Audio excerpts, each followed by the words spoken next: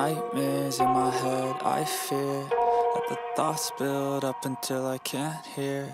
That my mind fills up into a creature, and it haunts me somewhere much deeper. Anxiety, filling up every space, no privacy. And silently, it could build and build until you Salam sejahtera Malaysia, denyut nadi suara rakyat bergema di channel ini.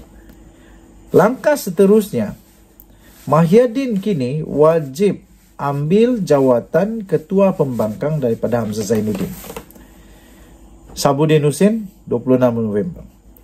Bagi sesiapa yang pernah berjumpa dengan Mahyadin Mat Yasin, mereka pasti sedar topik pengalamannya selama lebih 40 tahun dalam politik adalah antara tajuk perbualan yang jarang tidak disentuhnya.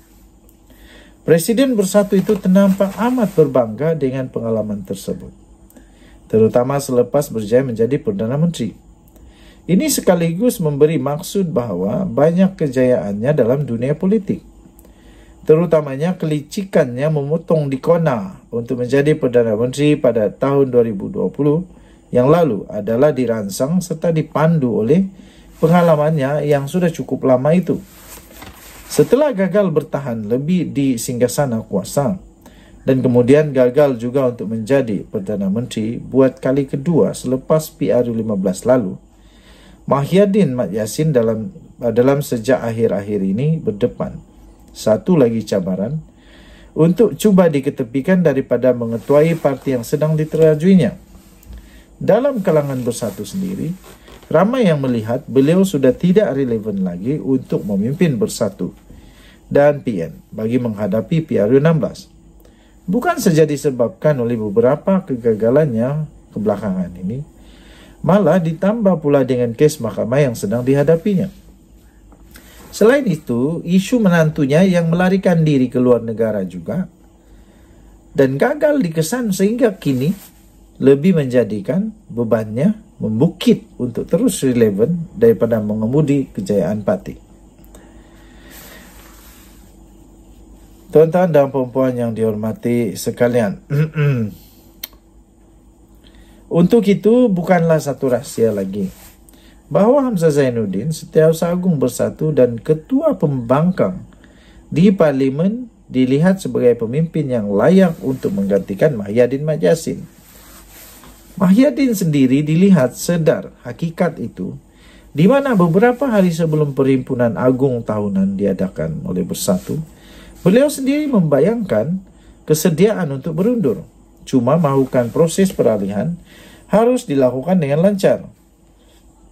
Dalam ucapan perasmian, perhimpunan tahun bagi parti pada Jumaat lalu, Mahyadin akhirnya membuat pengumuman tidak akan lagi pula mempertahankan lagi jawatannya.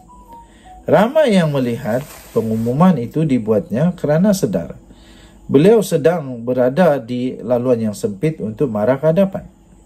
Terbukti akhirnya pengumuman itu hanyalah taktik dan strategi untuk memancing hati perwakilan.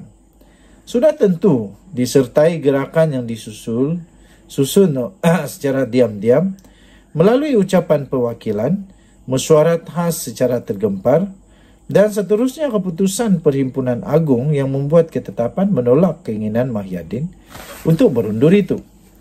Sebagaimana diduga, Mahyadin sudahnya akur untuk tidak berundur. Sebaliknya setuju mempertahankan lagi jawatannya pada pemilihan parti tahun depan. Terbukti di sini pengalaman selama lebih 40 tahun dalam politik memberi satu lagi kejayaan buat Muhyiddin. Mahyadin akhirnya berjaya melakukan pusingan U di laluan yang sempit untuk kekal lagi menerajui bersatu dan PN serta sudah tentu akan dinamakan sekali lagi sebagai calon untuk Perdana Menteri. Uh, pada PRU tahun 2027 akan datang. Dalam hal ini, apa yang Mayadin perlu lakukan seterusnya? Bersama kejayaan kekal lagi memimpin parti dan menyingkirkan ancaman Hamzah Zainuddin daripada mencabarnya, Mahyadin kini tiada pilihan lain jika ingin terus dilihat lebih berwibawa memimpin PN, mendepani PRU 16 melainkan dengan turut sama memegang jawatan ketua pembangkang di parlimen.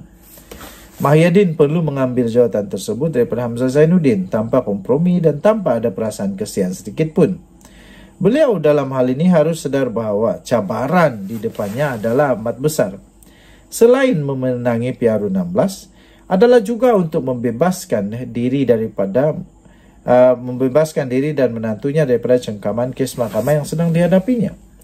Lihat bagaimana Anwar Ibrahim berjaya memperolehi pengampunan dan Zahid Hamidi memperoleh DNA. Semuanya adalah melalui kuasa politik dan kerajaan. Kejayaan berada sebagai sebahagian daripada kerajaan. Maka untuk PRU 16 akan datang, Mahyadin harus merangkum semua kekuatan yang ada di sekelilingnya untuk memperoleh kuasa dan matlamat membebaskan diri. Hanya dengan menambah jawatan ketua pembangkang dalam koleksi dirinya, saja dapat dilihat mampu memberi lebih kekuatan ke matlamat itu. Lagipun, dengan terus membiarkan jawatan ketua pembangkang dipegang Hamzah Zainuddin, Hodohnya PN di mata rakyat ialah gabungan itu seolah-olah ada dua nahkoda dalam kapal yang sama. Bagi tujuan melicinkan lagi bersatu dan PN serta memudahkan Mahyadin untuk mengambil alih jawatan ketua pembangkang, beliau juga tiada pilihan lain. Selain perlu untuk melucutkan Hamzah Zainuddin daripada terus memegang jawatan Setiausaha Agung Bersatu dan Setiausaha Agung Perikatan Nasional. Kedua-dua jawatan itu lebih wajar untuk Mahyadin kepada serahkan kepada Azmin Ali yang diketahui lebih tersusun, lebih kemas dan lebih teliti dalam gerak kerja politiknya selama ini, malah sejak bersama dengan PKR lagi. Dalam fasa menuju PRU 16, Hamzah barangkali cukup sekadar diberi jawatan Bendahari Agung saja. Itu pun jika Mahyadin masih ada sedikit simpati dan kesian kepadanya. Ditulis oleh Sahabudin Husin, 26 November 2023. Diterbitkan uh, di sabudin.com.net ditulis oleh Sabudin Husin. Dan jumpa lagi. Selamat malam Malaysia. Bye-bye. Salam sejahtera Malaysia. Denyut nadi suara rakyat. Bagaimana di channel ini?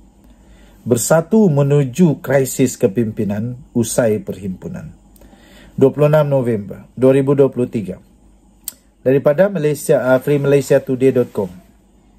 Adakah bersatu akhirnya akan berpecah belah Adakah bersatu akan melihat Muhyiddin Yassin terpaksa meletak jawatan?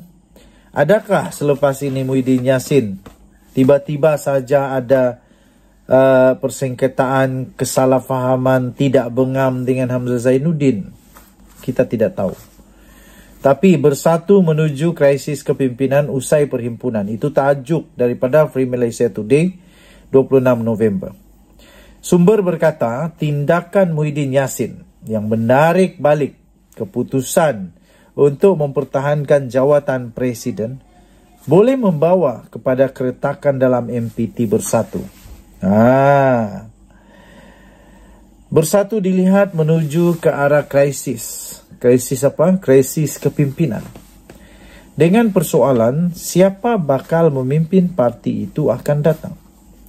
Ini berlaku Selepas Perhimpunan Agung Tahunan atau PAT Bersatu 2023 yang telah dilaksanakan selama tiga hari yang telah berakhir semalam tanpa rancangan jelas siapa bakal memegang jawatan tertinggi bagi parti tersebut. Sumber berkata, tindakan Mahyadin Mak Yassin itu yang telah menarik balik keputusan untuk yang tidak mempertahankan jawatan presiden boleh membawa kepada keretakan kepada keretakan di dalam majlis pimpinan tertinggi MPT bersatu. Katanya, pusingan you Muhyiddin itu pasti akan menimbulkan ketidakpuashatian dalam kem tertentu. Ha, jangan pula ada kem-kem pula sekarang. Ha, jangan pula tiba-tiba banyak kem lagi. Tiba-tiba banyak kemah itu puncak masalah tu. Pemimpin bersatu sedia. Pemimpin bersatu sedia untuk Muhyiddin berundur sebagai presiden. Nama yang disebut-sebut sebagai pengganti yang kemungkinan besar pastinya Setia Agung iaitu Hamzah Zainuddin. Dan ramai bersetuju dengan pilihan itu katanya. Muhyiddin sebelum ini mengakui dan sedar wujud gesaan agar beliau agar berlaku perubahan dalam kepimpinan termasuk oleh ahli MPT Edin Sazli Shit yang berkata parti itu mempunyai kelompangan atau kelemahan yang perlu diisi supaya lebih mantap membantu Perikatan Nasional. Pada Jumaat lalu, Muhyiddin mengumumkan beliau tidak akan mempertahankan jawatan presiden pada pemilihan parti tahun depan. Katanya keputusan itu dibuat untuk memberi ruang kepada pimpinan pelapis bersatu mengambil alih kepimpinan parti. Namun beberapa pemimpin bersatu enggan menerima keputusan itu. Ketua pemudanya, Wan Ahmad Faisal Wan Ahmad Kamal berkata, beliau akan mengusulkan supaya Muhyiddin kekal menerajui uh, bersatu pada pemilihan seterusnya. Manakala timbalan Presiden Ahmad Faisal Azumu pula mengakui terkejut dengan pengumuman itu. Melihat makum balas secara tiba-tiba daripada semua perwakilan yang berdiri menolak. Bagaimanapun semalam, Muhyiddin. Ha, Muhyiddin bagaimanapun semalam Muhyiddin mengubah keputusannya dan berkata beliau akan mempertahankan jawatan presiden untuk sepenggal lagi. Muhyiddin dalam ucapannya pada sesi penggulungan PAT tersebut memaklumkan beliau diyakinkan oleh istrinya Nuraini Abdul Rahman untuk tidak mengecewakan ahli yang kelihatan memerlukannya. Bersatu mencatat keputusan pilihan raya terbaik pada PR15 tahun lalu apabila memenangi 31 kerusi parlimen. Bagaimanapun dengan kedudukan kepimpinan yang belum diselesaikan, prospek parti untuk mengukuhkan kejayaan itu diragui. Dan yang tadi suara rakyat, bagaimana di channel ini? Jangan lupa tekan butang subscribe, like dan share. Kita jumpa lagi. Bye-bye.